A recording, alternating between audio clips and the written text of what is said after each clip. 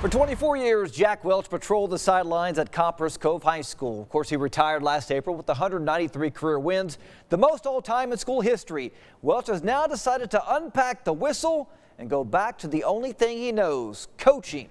Welch has been named the special teams coordinator, running backs coach, and football camp director at Division II Texas A&M Commerce. This will be his fifth coaching stint at the college ranks. Coaches, uh, Welch has coached at Louisiana Tech, Fort Scott Community College, Kansas Wesleyan, and also West Texas State. The Lions went 10 and 3 last season, losing in the regional semifinal.